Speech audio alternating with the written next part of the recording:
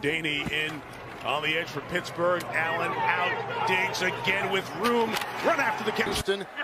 Everyone safe and sound. First and 10 after the punt, and out of the backfield it goes to Nyheim. As much as I thought.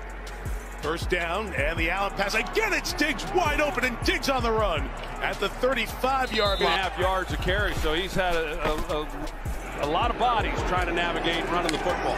With the rain falling just today.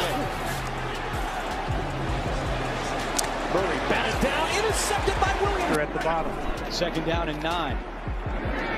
And Fitzpatrick's pass is complete to with time over the middle, intercepted. A bunch of tight ends available as Allen throws.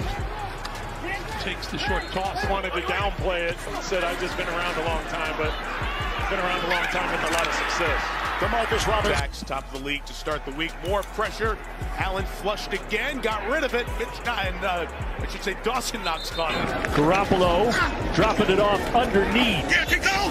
Tevin Coleman first down, staying on his feet before he's finally. Second down for it's Taylor. Cutting. And he takes it. First down. Murray short to Edmonds. We'll see what Chan Gailey dials up here on third and long. It's a screen. Grant trying to get him in space, and Grant cannot. Quarterback draw. Quarterback draw. Here goes Allen. He has first down yardage. Final minute here in Pittsburgh. Second down and three. As Williams.